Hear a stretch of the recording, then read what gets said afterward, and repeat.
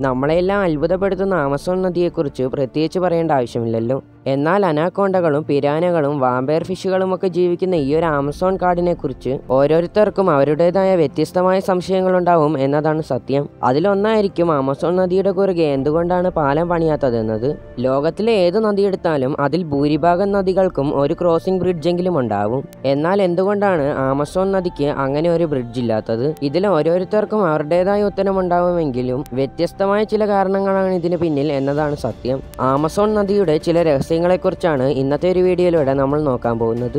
ലോകത്തിലെ ഏറ്റവും വലിയ നദിയാണ് ആമസോൺ നദി എന്ന് നമ്മൾ സൂചിപ്പിച്ചല്ലോ. ആറായിരത്തി നാനൂറ് കിലോമീറ്റർ ആണ് ഈ ഒരു നദിയുടെ നീളമെന്ന് പറയുന്നത്. കൂടാതെ കടലിൽ വന്നു ചേരുന്ന ശുദ്ധജലത്തിന്റെ അഞ്ചിലൊരു ശതമാനവും ആമസോൺ നദിയിൽ നിന്നാണ് എന്നതാണ് സത്യം. ഇനി നമുക്ക് മെയിൻ കാര്യത്തിലേക്ക് കടക്കാം. എന്തുകൊണ്ടാണ് ആമസോൺ നദിയുടെ കുറുകെ ഒരു പാലം പോലും ഒരു ഗവൺമെന്റും പണിയാതുള്ളത്? സിമ്പിളായി പറയുകയാണെങ്കിൽ ഇന്ത്യയുടെ ഒരറ്റത്തു നിന്ന് മറ്റേ അറ്റത്തേക്ക് എത്തുന്നതിന്റെ ഇരട്ടി ദൂരമുണ്ട് ആമസോൺ നദിക്ക്. ഇത്രയും വിശാലമായി കിടക്കുന്ന ഒരു നദിയായിട്ട് കൂടിയും ഇതിലൊരു പാലം പോലുമില്ല എന്നതാണ് അത്ഭുതം. എന്തൊക്കെയായാലും ആരും അവിടെ ബ്രിഡ്ജ് നിർമ്മിക്കാൻ ധൈര്യപ്പെടാത്തതിന്റെ കാരണങ്ങൾ എന്തൊക്കെയാണെന്ന് നമുക്ക് കണ്ടുവരാം. ആദ്യത്തെ കാരണം അഥവാ റീസൺ എന്താണെന്ന് നോക്കുകയാണെങ്കിൽ ആമസോൺ നദി ഒരു മഴക്കാലാണെന്ന് നമുക്ക് എല്ലാവർക്കും അറിയാം. അതുകൊണ്ട് തന്നെ അവിടെ പൊതുവായിട്ട് മഴക്കാലം എന്നൊരു കാലാവസ്ഥ മാത്രമേ ഉണ്ടാവാറുള്ളൂ. ഒന്ന് മഴക്കാലമാണെങ്കിൽ മറ്റൊന്ന് പെരും മഴക്കാലം എന്നേ നമുക്ക് പറയാൻ കഴിയൂ. അതുകൊണ്ട് തന്നെ ആമസോൺ നദിയുടെ വെള്ളം ഒരു നിശ്ചിത അളവിൽ മാത്രമേ ഒഴുകൂ എന്ന് നമുക്ക് കണക്ക് കൂട്ടാൻ കഴിയില്ല. ഒന്നുകൂടി വ്യക്തമായിട്ട് പറയുകയാണെങ്കിൽ പൊതുവായി വേനൽക്കാലത്ത്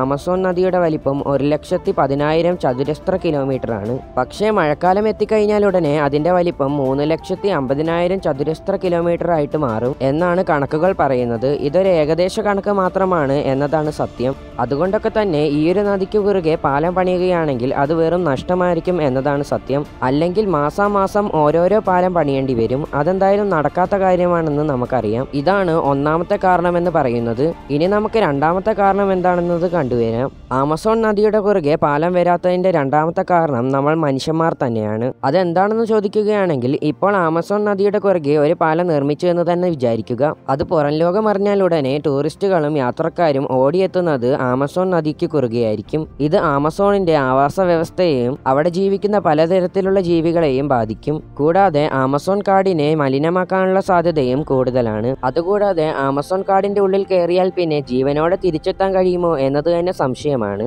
കാരണം അത്രത്തോളം ഭീകരന്മാരായ ജീവികളും സസ്യങ്ങളും ജീവികളും വസിക്കുന്ന ഒരു ഘോരമായ വനമാണ് ആമസോൺ മഴക്കാടുകൾ. ഈ കാരണം കൊണ്ടൊക്കെ തന്നെ ജീവനിൽ കൊതിയുള്ള ആരും ആ പാലം കടക്കാൻ തന്നെ സാധ്യതയില്ല. ഇതാണ് രണ്ടാമത്തെ കാരണം എന്ന് പറയുന്നത് ഇനി റീസൺ നമ്പർ ത്രീ നോക്കാം. മൂന്നാമത്തെ കാരണം വളരെ സിമ്പിൾ ആണ്. എന്താണെന്നാൽ കണ്ണത്താ ദൂരത്തോളം കിടക്കുന്ന ഈ ആമസോൺ കാടിലേക്ക് പാലങ്ങൾ നിർമ്മിക്കാനുള്ള സാധനങ്ങൾ കൊണ്ടുവരുന്നത് വളരെ വലിയൊരു ടാസ്ക് തന്നെയാണ്. അങ്ങനെ പാലം പണിയുന്നത് കൊണ്ട് ആമസോണിന് പ്രത്യേകിച്ച് വലിയൊരു ഉപകാരമില്ലാത്തത് കൊണ്ട് തന്നെ ഇങ്ങനെ പാലം പണിയുന്നത് വലിയൊരു മണ്ടത്തരം തന്നെയാണ്.